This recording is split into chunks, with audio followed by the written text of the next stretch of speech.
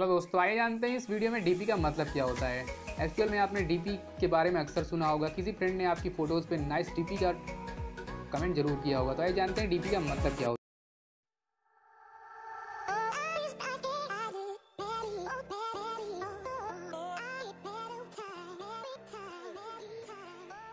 Hello दोस्तों, मैं हूँ आपका होस्ट और दोस्त तनुज आर्या। आप देख रहे हैं study and tech YouTube channel channel को सब्सक्राइब करें और साथ में बेल आइकन दबाएँ, जिससे नए नए वीडियोस आपको मिलती रहें।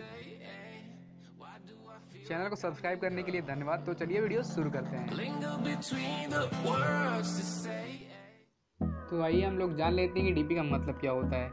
क्योंकि जैसे कि आप लोग फेसबुक या व्हाट्सएप में अपनी प्रोफ़ाइल पिक्चर अपलोड करते हैं तो बहुत सारे कमेंट आने शुरू हो जाते हैं।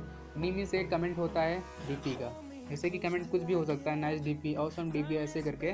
तो डीपी का मतलब क्या होता है? तो मैं आपको बता दूँ डीपी का मतलब होता है डिस्प्ले पिक्चर जैसे कि आपने कोई फ़ोटो अपलोड की है इसका मतलब ये होता है कि जैसे आपने कोई फ़ोटो अपलोड की है और लोगों को पसंद आ रही है वो फ़ोटो तो डीपी का वो लोग यूज़ करते हैं नाइस डीपी अर्थात जो आपने पिक्चर अपलोड की है, प्रदर्शित पिक्चर आपकी जो है उनको अच्छी लगी।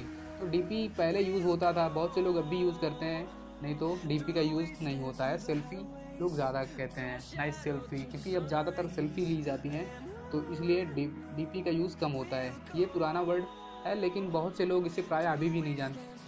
आई होप सो कि मैंने जो आपको जानकारी बताई, आपको पसंद आई होगी। कुछ ऐसे ही इंटरेस्टिंग फैक्ट के लिए आप देखते रहिए स्टूडेंट टेक यूट्यूब चैनल तो मिलते हैं नई वीडियो में कुछ नई जानकारी के साथ।